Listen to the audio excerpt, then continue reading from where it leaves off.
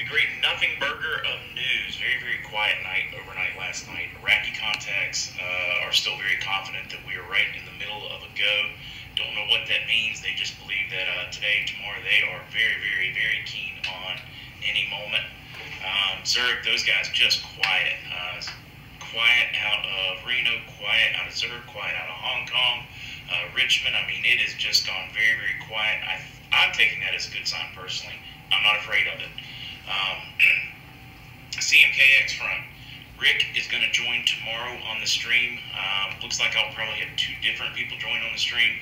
Uh, you guys had some uh, questions for Rolls Royce, uh, lots of questions for Rick.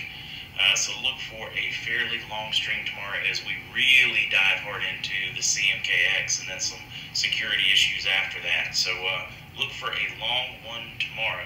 I'm certain I'm forgetting a lot of stuff, guys will remind me and we can get on to the fun things.